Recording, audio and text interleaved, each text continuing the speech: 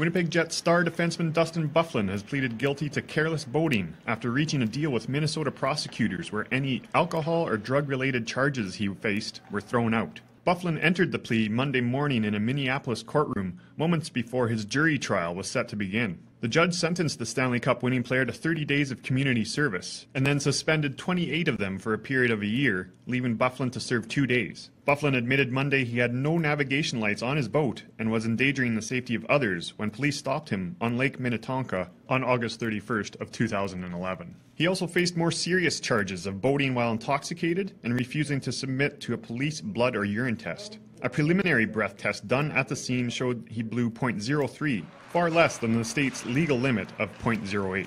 Defense lawyer Mitchell Robinson had repeatedly said there was no indication whatsoever Byfuglien was intoxicated, and also claimed that police breached his rights by not allowing him to consult with a lawyer prior to refusing to submit to the drug analysis test. For the Winnipeg Sun, I'm Rich Pope.